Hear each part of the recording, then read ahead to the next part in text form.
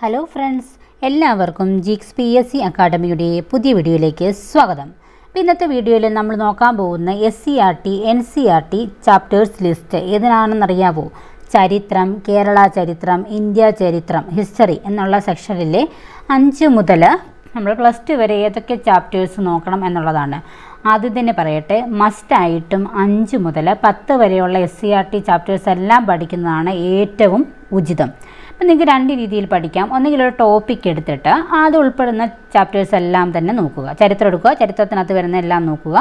വേറെ ടോപ്പിക് എടുക്കുക എക്കണോമിക്സ് എടുക്കുക. എക്കണോമിക്സിൽ ഉൾപ്പെടുന്ന ചാപ്റ്റേഴ്സ് എല്ലാം പഠിക്കാം ആ രീതിയിൽ വേണമെങ്കിൽ പഠിക്കാം. അല്ലെങ്കിൽ അഞ്ച് മുതൽ പത്ത് വരെയുള്ള എല്ലാ ടോപ്പിക്കിലും എല്ലാ അതായത് നമ്മുടെ ബയോളജിയും നമ്മുടെ സയൻസ് ഹിസ്റ്ററി സയൻസ് ഒക്കെ ഉണ്ടല്ലോ. അപ്പോൾ അത് എല്ലാം ഒന്ന് പഠിച്ചതിന് ശേഷം നമ്മുടെ സിലബസിലെ ടോപ്പിക്കുകൾ ഓരോന്നോരോന്ന് കവർ ചെയ്ത് കവർ ചെയ്ത് പോകാം. അതിനകത്ത് പറഞ്ഞിരിക്കുന്ന കാര്യങ്ങളൊക്കെ തന്നെയാണ് ഗൈഡിലുള്ളത്. കുറച്ചധികം കാര്യങ്ങൾ കാണും എന്നുള്ളത്. പക്ഷേ ഇത് മസ്റ്റായിട്ടും പഠിച്ചിരിക്കണം.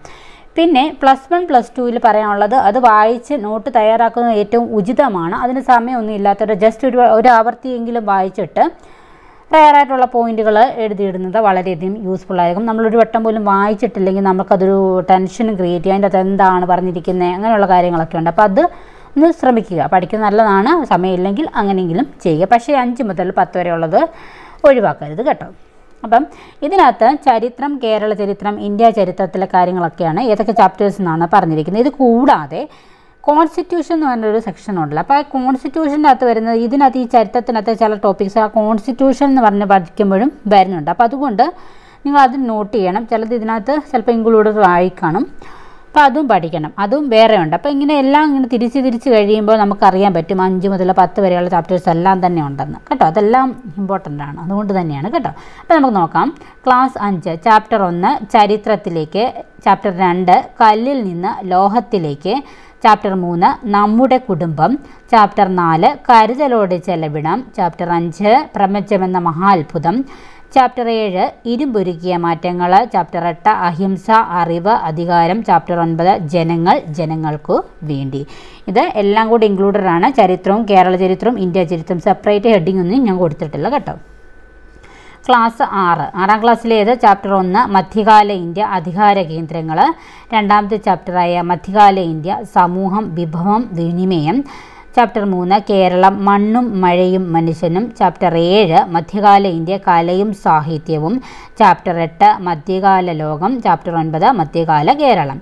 അടുത്തത് ക്ലാസ് ഏഴ് ചാപ്റ്റർ വണ്ണ് യൂറോപ്പ് പരിവർത്തന പാതയിൽ രണ്ടാമത്തെ ചാപ്റ്ററായ കച്ചവടത്തിൽ നിന്നും അധികാരത്തിലേക്ക് മൂന്നാമത്തെ ചാപ്റ്ററായ ചെറുത്തുനിൽപ്പുകളും ഒന്നാം സ്വാതന്ത്ര്യ സമരവും ചാപ്റ്റർ നാല് ഇന്ത്യ പുതുയുഗത്തിലേക്ക് ചാപ്റ്റർ എട്ട് നവകേരള സൃഷ്ടിക്കായി ചാപ്റ്റർ ഒൻപത് ഗാന്ധിജിയും സ്വാതന്ത്ര്യ സമരവും.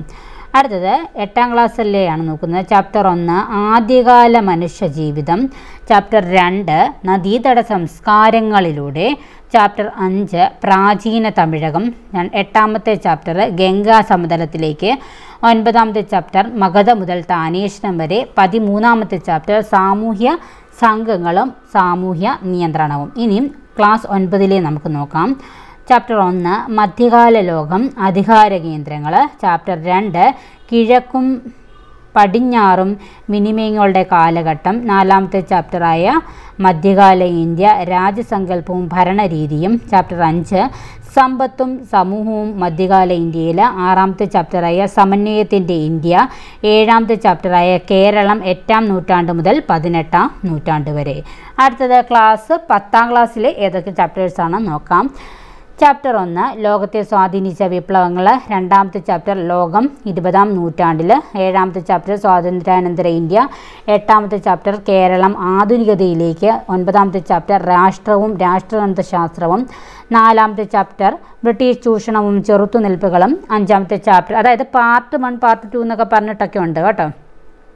അപ്പോൾ അറിയാം പത്താം ക്ലാസ്സിൽ കുറേ പഠിക്കാനുണ്ടല്ലോ. അപ്പോൾ ബ്രിട്ടീഷ് ചൂഷണവും ചെറുത്തുനിൽപ്പുകളും ചാപ്റ്റർ അഞ്ച് സംസ്കാരവും ദേശീയതയും ചാപ്റ്റർ ആറ് സമരവും സ്വാതന്ത്ര്യവും. പാർട്ട് ടുയിൽ വന്നിരിക്കുന്ന ചാപ്റ്റേഴ്സ് ഏഴുണ്ട് വൈവിധ്യങ്ങളുടെ ഇന്ത്യ. അവിടെ അതേ നെയിം തന്നെയാണ് കേട്ടോ. അതുകൊണ്ടാണ് ഞാൻ പാർട്ട് ടു എന്ന് ഇട്ടിരിക്കുന്നത് ചാപ്റ്റർ എട്ട് ഇന്ത്യ സാമ്പത്തിക ഭൂമിശാസ്ത്രം. അടുത്ത് നോക്കിക്കേ പതിനൊന്നാം ക്ലാസ്സിലെ ഗാന്ധിയൻ പഠനം എന്ന് പറഞ്ഞിട്ടുണ്ട്.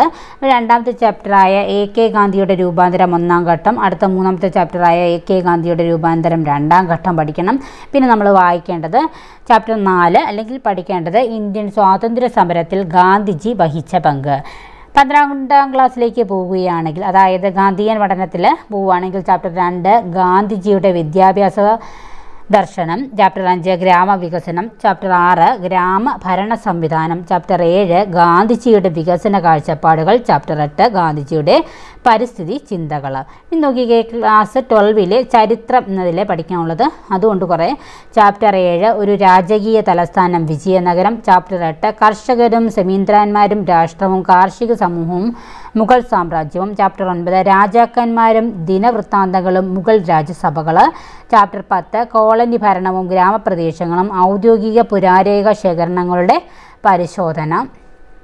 അടുത്തത് ചാപ്റ്റർ പതിനൊന്ന് കലാപകാരികളും രാജ്യം എന്നായിരുന്നു. എന്താണെന്ന് ഞാൻ എഴുതിയത് കറക്റ്റല്ല എങ്കിലും നിങ്ങൾക്ക് ഒരു പേര് നോക്കുമ്പോൾ കിട്ടും. ആയിരത്തി എണ്ണൂറ്റി അമ്പത്തേഴിലെ കലാപവും അതിന്റെ ചിത്രീകരണങ്ങൾ. ചാപ്റ്റർ ട്വൽവ് മഹാത്മാഗാന്ധിയും ദേശീയവാദ പ്രസ്ഥാനവും നിയമലംഘനവും അതിനപ്പുറവും.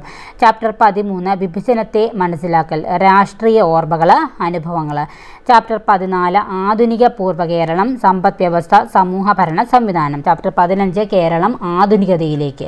അപ്പോൾ ഇത്രയും ചാപ്റ്ററുകളാണ് ചരിത്രം എന്ന ഹിസ്റ്ററി പഠിക്കുമ്പോൾ കേരള ഹിസ്റ്ററി ഇന്ത്യൻ ഹിസ്റ്ററി അല്ലാതെ ഹിസ്റ്ററി പഠിക്കുമ്പോൾ നമ്മൾ അറിഞ്ഞിരിക്കേണ്ടതും പഠിക്കേണ്ടതുമായ ചാപ്റ്റേഴ്സ് അപ്പോൾ ഇത്രയും നിങ്ങൾക്ക് മനസ്സിലായോ. ഒന്നെങ്കിൽ സ്ക്രീൻഷോട്ട് എഴുതി വെച്ചിട്ട് എടുത്തു വെച്ചിട്ട് പഠിക്കുക അല്ലെങ്കിൽ എഴുതിയെടുത്തിട്ട് സൂക്ഷിക്കുക. ഓക്കെ ഇപ്പോൾ പി എസ് പി എസ് സിയുമായിട്ട് ബന്ധപ്പെട്ട പുതിയ അപ്ഡേറ്റ്സിനും അതുപോലെ തന്നെ പി എസ് സി ക്ലാസ്സുകൾക്കും വേണ്ടിയിട്ട് നമ്മുടെ ചാനൽ ഇതുവരെ നിങ്ങൾ സബ്സ്ക്രൈബ് ചെയ്തിട്ടില്ലെങ്കിൽ സബ്സ്ക്രൈബ് ചെയ്യുക ലൈക്ക് ചെയ്യുക അതുപോലെ തന്നെ നിങ്ങളുടെ കൂട്ടുകാരിലേക്കൊക്കെ ഒന്ന് ഷെയർ ചെയ്യാനും മറക്കരുത്. തൊട്ടടുത്തുന്ന തൊട്ട് കാണുന്ന ആ ബെല്ലൈക്കൺ ഒന്ന് പ്രസ് ചെയ്താൽ ഞാനിടുന്ന വീഡിയോസിന്റെ നോട്ടിഫിക്കേഷന് നിങ്ങൾക്ക് അപ്പോൾ ലഭിക്കും. അപ്പോൾ തന്നെ വീഡിയോസ് കാണാവുന്നതാണ്. അപ്പോൾ ഓക്കെ ബൈ